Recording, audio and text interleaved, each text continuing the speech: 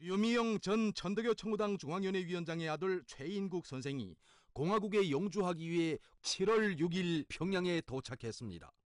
평양 국제비행장에서 리명철 천덕여 청구당 중앙위원회 부위원장을 비롯한 관계부문의 일꾼들이 동포의 정을 안고 맞이했습니다.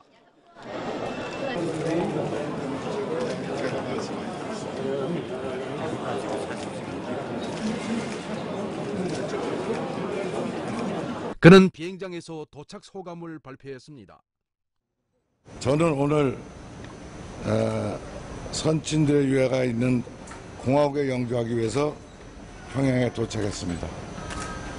민족의 정통성이 살아있는 진정한 조국 공화국에 품에 안기게 된 지금 저의 심정은 무슨 말로 어떻게 표현할지 모르겠습니다.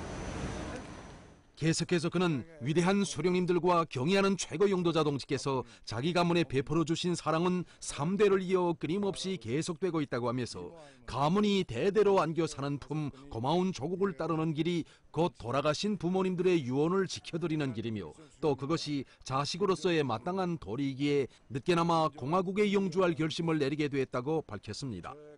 그는 끝으로 부모님들의 유지대로 조국 통일 위협에 요생을 깡굴이 바칠 것이라고 영구 발인에 앞서 고 류미영 선생을 추모하여 묵상했습니다.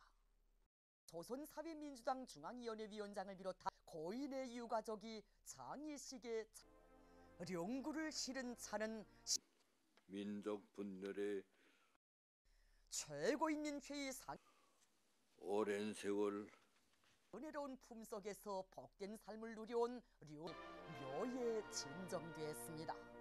안고 맞이했습니다.